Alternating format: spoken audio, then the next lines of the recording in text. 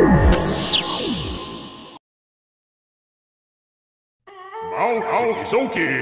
Tikisoki's a secret place where water splashing fun puts a smile on your face. And when his eyes open wide, it's a Mount Tikisoki Super Soak.